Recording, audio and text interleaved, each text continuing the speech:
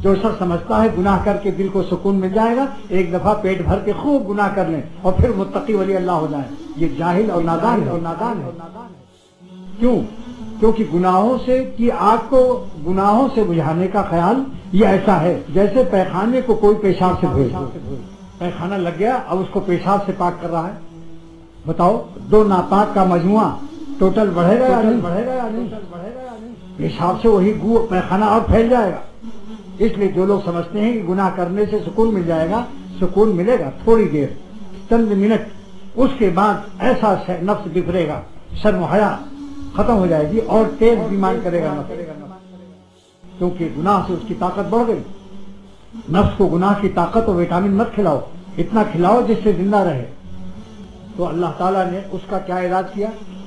हकीम उम्मत मुजद मिल्लत मौलाना अशरफ अली साहब दादा पीर रहमत फरमाते हैं कि जो लोग गुनाह नहीं छोड़ते और समझते हैं गुनाह करके गुनाह छूट जाएँगे, आदत खत्म हो जाएगी नफ्स का पेट भर दें उनके शदीद तकाजों से इतनी शिद्दत होगी तकाजे में कि फिर आउट ऑफ़ कंट्रोल हो जाएगा। गुनाह करते करते एक दिन मजमे में पकड़ा जाएगा।